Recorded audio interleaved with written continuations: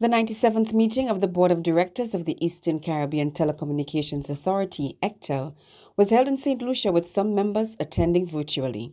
The chairman of the board, Mr. Philip Dalsou, notes that the governance arrangement of ECTEL requires the board of directors to meet four times a year to be updated on the work of the regional telecommunications regulator. The key items on the, on the discussion today were one, the, the work plan, the, the up, an update on the end of year, the financial reports of ECTEL, uh, updates on of some of their key projects.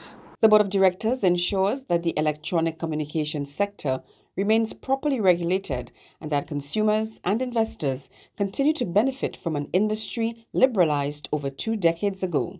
You know, the advent of ECTEL and the advent of regulation in the telecoms market has led to significant drops in the prices of telecom services. It's, it's led to incredible levels of investment the ECTEL Managing Director David Cox says one of the key items on the agenda was the much awaited Electronic Communications Bill, which is an update to the current Telecommunications Act.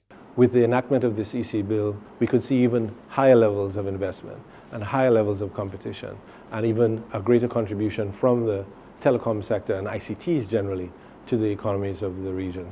It is the hope that the EC bill will be enacted in the remaining ECTEL contracting states within the next year or so. We're hoping that we can get this legislation passed in the remaining contracting states, the St. Lucia, Grenada, and Dominica. We're optimistic that we can get this done this year or early into next year, and uh, we think it's going to have a very transformative effect on the sub-region in the next five to 10 years.